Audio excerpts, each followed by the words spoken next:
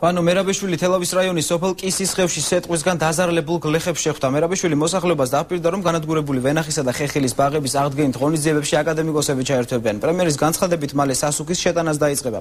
შეხვედრაზე ვანო მერაბეშვილმა დეტალურად ისაუბრა იმ ღონისძიებებზე, რომელსაც ხელისუფლება კახეთის სოფლებში ვაზის გადარჩენის მიზნით გეკმავს.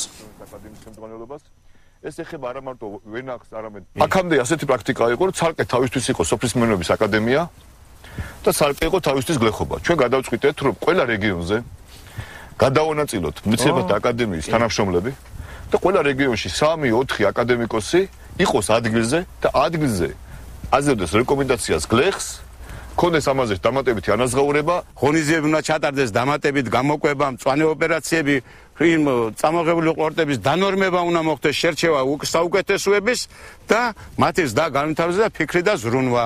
აი ეს არის ყველაფერი ძირითადი მიმართულებები, რამაც უნდა გამოასწოროს აღნიშნული ნარგავობა. პირდებიან, რა ვიცი, სასუქებს, რაღაცას, რაღაცას რო გაძლიერდეს ვაზი და მივიღოთ უახლოეს პერიოდში ისე ის პრეზენტი მოსავალი, რასაც ვიღებდით. აბა შეიძლება რომ გექტარზე 8-10 ტონა ყურძენი მივიღო და ერთი მარცვალიც აღარ არის.